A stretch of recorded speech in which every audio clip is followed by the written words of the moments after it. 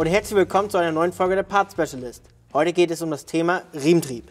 Ja, hier haben wir den Riementrieb, wird durch die Kurbelwelle angetrieben.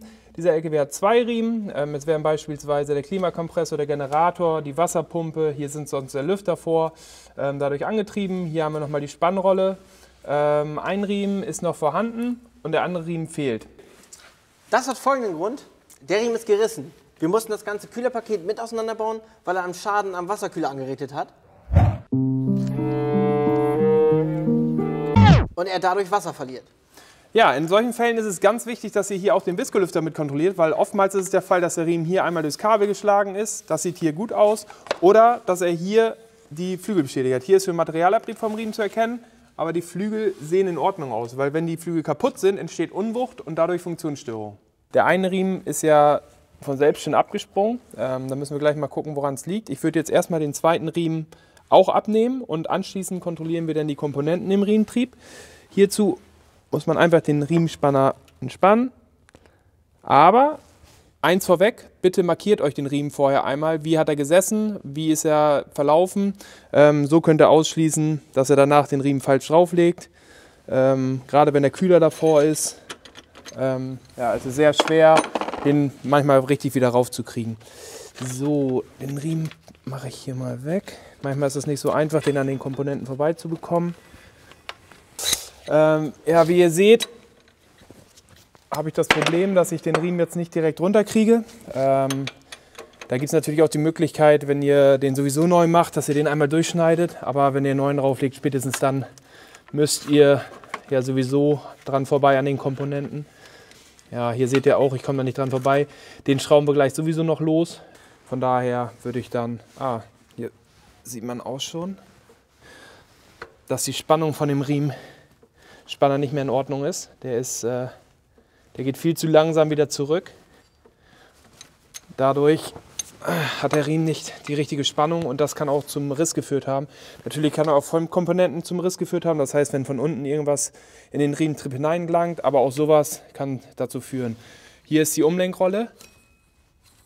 Hier hört man auch schon, die wird auch schon Geräusche gemacht haben. Die machen wir auch mit neu. Ähm, die Lichtmaschine ist auch in Ordnung. Hier unten dreht sich auch super. So, jetzt gucken wir uns den nochmal an. Na, der ist, der ist besser. Na, hier sieht man, der geht richtig schön wieder zurück. Wenn wir das nochmal im Vergleich sehen zum anderen Riemenspanner. Da sieht man ganz klar, dass die Spannung von dem Riemenspanner nicht mehr ausreicht. Der muss auf jeden Fall neu. Die machen wir neu. Die werden wir auch mit neu machen, wenn wir es jetzt schon mal alles auseinander haben. Ähm, den Riemen gucken wir uns gleich noch mal im Detail an und dann äh, würde ich die Komponenten mal eben ausbauen.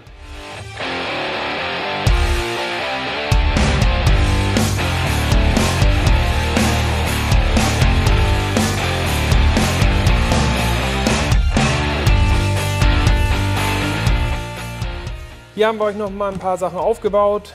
Riemenspanner, Umlenkrollen, Riemen ähm, und zeigen euch jetzt mal, was da so dran kaputt gehen kann. Ähm, fangen wir mal mit dem an. Hier ist es so, dass äh, die Aufnahme hier ähm, nicht mehr parallel oder die Riemenscheibe nicht mehr parallel zur Aufnahme sitzt. Ähm, das sieht man daran, dass der Spalt hier wesentlich geringer ist als der Spalt hier. Ähm, ja, das kann halt die, äh, die Ursache kann halt sein, dass hier irgendwie Schmutz reingekommen ist oder dass der Schwingungsdämpfer von der Kurbelwelle kaputt ist ähm, oder auch so Motorschwingungen entstehen, ähm, die halt, dadurch arbeitet der halt so viel und geht halt kaputt. Ähm, als nächstes haben wir hier nochmal ähm, einen Riemenspanner, wo man hier sehen kann, dass der Riemen nicht komplett oder nicht gut auf der Riemenscheibe gesessen hat. Das heißt, hier ist noch kein Materialabrieb, ist noch lackiert und hier ist schon überall blank. Das heißt, der Riemen hat zu weit nach außen gesessen und dadurch äh, nicht mehr mittig oder der, nicht mehr mittig auf der Rolle gelaufen. Dadurch entsteht zum Beispiel sowas, dass hier der Riemen teilweise Rillen abgetragen sind ähm, und dadurch auch vielleicht der Riemen mal abspringt oder reißt, äh, weil das Material nicht mehr komplett vorhanden ist. Ähm, ja, und als nächstes haben wir hier auch noch einen Artikel, aber da muss ich mal eben was holen. Ja. Mach du mal eben erstmal weiter. Wir haben hier die ausgebaute Umringrolle äh, vom Fahrzeug. Das heißt, man hört, die schleift. Das heißt, hier sind, ja, hier ist Dreck reingekommen ins Lager, aber ähm, weil der Riemen natürlich auch gerissen ist, hat er noch einen Schaden verursacht. Das heißt, hier die Riemenscheibe hätten wir, hätten wir sowieso erneuern müssen, weil sonst würde das äh, Problem sein, was Lars schon mal erklärt hat, dass der Riemen eventuell irgendwann runterrutschen kann oder eine Rille verliert. Hier haben wir dann nochmal einen Riemen, der Öl verschmiert ist. Daher müsst ihr darauf achten beim Riemen, wenn ihr bei Durchsicht, Wartung oder sowas, dass sie wirklich sauber sind, weil sonst würden sie durchrutschen und dann habt ihr Fehlfunktionen im Motor oder Generatoren, die nicht richtig äh, die Batterien laden und sonstiges. Daher bitte darauf achten, wirklich, dass es sauber arbeitet und dass da kein Öl drin ist. Ich habe auch schon mal den anderen Artikel hergeholt. Hier sehen wir mal den Artikel, den wir gleich verbauen werden.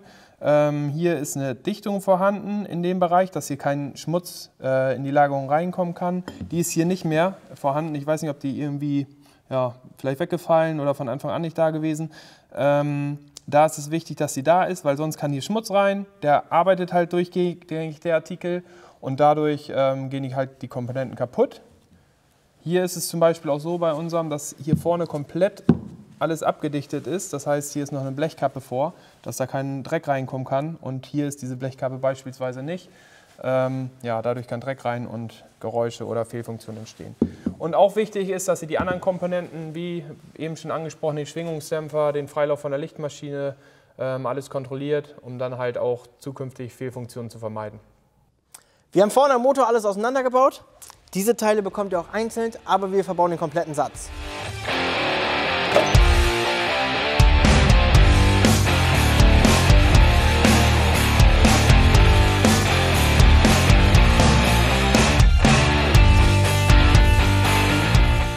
So, jetzt ziehen wir die mit Drehmoment an. Das ist ganz wichtig bei diesen Riemenspanner, dass ihr die mit Drehmoment anzieht, weil ihr könnt euch natürlich vorstellen, wenn man diese Lagerung hier zu doll anzieht, ähm, dann ist es so, dass die Spannkraft des Riemenspanners sich auch ändert und dadurch Funktionsstörungen entstehen. Also ganz wichtig, nach Herstellervorgaben die Drehmomente raussuchen. Äh, ja. So, nimm mal. Dann hole ich schon mal, baue ich das schon mal um, dass wir gleich spannen können. Wie passt denn der hier rauf? Ja, denkst Also- du, ich habe das nicht markiert? Nee, Ne? irgendwie ist ja auch nichts drauf. Ja, hier. Vorne habe ich ja schon mal gesagt, ganz wichtig, markieren. Und hier kann man halt sehen, wie der gesessen hat. Für den anderen Riemen müssen wir uns nachher raussuchen, weil der war ja abgerissen, aber hier ist es so. sagen, genau Vorsicht so. mit dem Finger.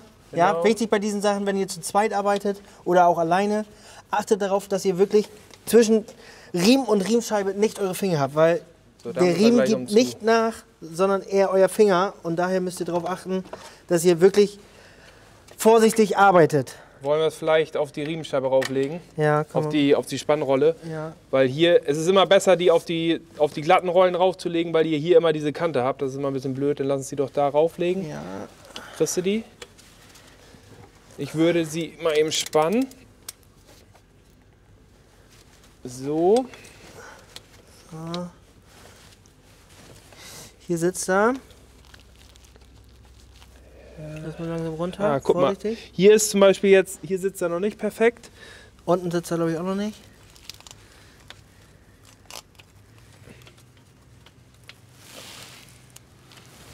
Ah. So, Ja, so. oh, jetzt, guck mal. Jetzt so sitzt er doch. Wir haben jetzt noch oben das Lüfterlager neu gemacht. Ähm, aus dem Grund, weil Fettaustritt da war, Spiel war etwas da am Lager. Ich glaube, Geräusch hat es ja auch ein bisschen gemacht, wurde gesagt. Ne? Genau, richtig. Ähm, sonst haben wir die beiden Riemen aufgelegt. Ähm, und hier können wir jetzt einmal die Spannung am Riemen prüfen. Wenn ihr euch da nicht sicher seid, einmal Herstellervorgaben kontrollieren und äh, mit Spezialwerkzeug einmal die Riemenspannung prüfen. Ähm, es kann immer sein, dass irgendwo was zwischen liegt oder was zwischen sitzt, was die Riemenspannung ein bisschen blockiert etc. Ähm, ja, Ja, ich würde sagen, wir bauen den Lüfter noch eben an. Und in der Zeit zeigen wir euch, wie wir im Rahmen des DTQS solche Artikel prüfen. ja.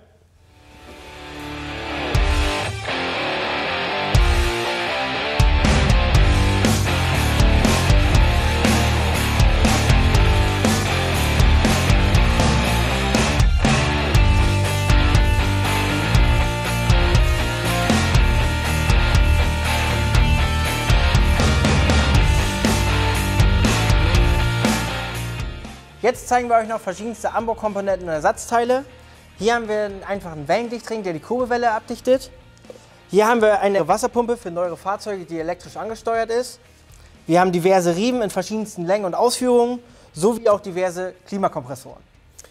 Zudem haben wir hier noch einen Viskoselüfter, elektrisch angesteuert. Den gibt es auch ähm, einmal temperaturgesteuert. Dann haben wir hier, haben wir vorhin auch schon drüber gesprochen, den Schwingungsdämpfer, der ist vorne auf der Kurbelwelle drauf und nimmt halt die Schwingung aus dem Kurbeltrieb auf. Hier haben wir nochmal den Freilauf für die Lichtmaschine, den wir auch einzeln im Programm haben.